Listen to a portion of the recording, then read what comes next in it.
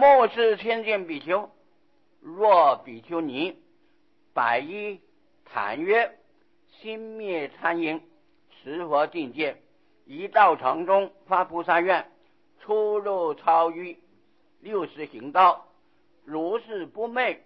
今三七日，我自现身至其人前，摩顶安慰，令其开悟。释迦牟尼佛的话，也是说明他。啊，会扶持这些修持的人。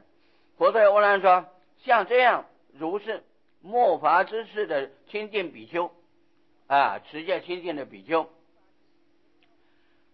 这个修法以比丘为主，也包含其他，所以比丘尼也可以修。所以若比丘尼，假若有比丘尼众愿意修行，也可以。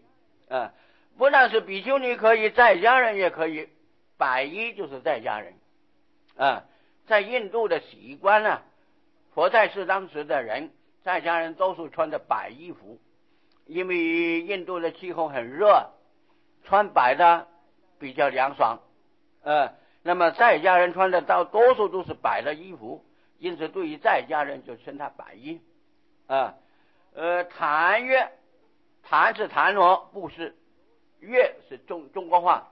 啊，有布施能够超出贫穷海，所以叫做禅约，就是指在家就是扶持道场，啊，他能够啊这个超出贫穷海。百亿禅约，按照经文说，四众都可以修了，比丘为主，啊，出家比丘尼也一样可以修。那么在家油婆塞油婆也可以修，所以说百亿禅约。还有一种说法。百一禅院是指他扶持出家人，扶持出家人修行啊，呃，那就是说出家人修这个法门的时候啊，要有在家的护法，没有在家护法，他怎么能修啊？最起码他要吃饭了啊，这个法轮未转，死轮死轮先了啊，那么谁给他吃啊？百一禅院啊，所以这个百一禅院或者是标示啊扶持出家比丘比丘尼。在修这个法门，不过虽然说是不论是四众修或者或者是二众修，他在专修这个法门的时候啊，不能男女混杂，比丘就纯比纯比丘，后边经文说十个，不能超超过这个数目字，比丘尼就纯粹比丘尼啊，也是十个，不能超出这个数目字。百一在家人如果要跟随出家人修的话。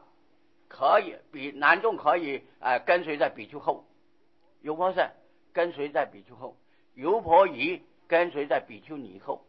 那么这个坛场修这个法门，不能男男女四众混杂，这样是不行啊。是男众修就是纯粹是男众，顶多在家的男众油婆塞可以附在后边，但是不在实数之中啊。而这如果是比丘修。不能超过十个人，太多了复杂，做不好，所以最多不能超过十个。我想还是一个人最好，嗯呃，不会有烦恼，也不会吵架，呃，所以呃，如果这个类别分清楚啊，不能随便混合啊。现代人呃，因为都是很很很普通、很普遍了，呃，不能这样细分别。可是如果建立这个坛场专修的话，那就必定有这样分别，不能够混合。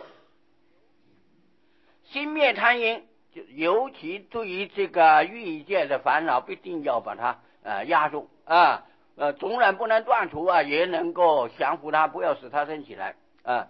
持佛境界，佛所呃制定的这个清净的戒法，要如法持好。以道场中发菩萨愿，在这个道场里面有发愿，后边呢坛场里面有说到啊，凡是入坛入坛行道的时候。入坛之前要洗洗澡，啊，换清净的衣服，啊，呃，纵然没有新衣啊，洗干净也是可以。六十行道，白天三支香是不会有什么问题问题了，晚上就比较困难了。晚上初夜、后夜都不会有问题了，中夜比较难，半夜啊，因为如果真的这样做的话，真正可以睡的时间是等于没有了。中间空档的时间只有两个小时，如果睡性不好的人呢，躺下来还没睡着呢，时间到了就得起来了。这接可以说是等于没有睡觉。呃，如果睡性好嘛，还可以睡一下子啊。那么六十行道就是白天三三次，晚上三次。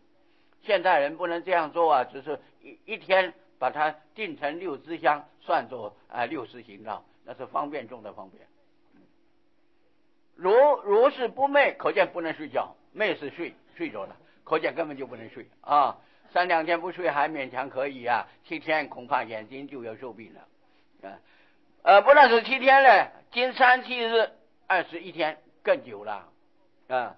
三七二十一日，这个都在后边谈场有说到啊。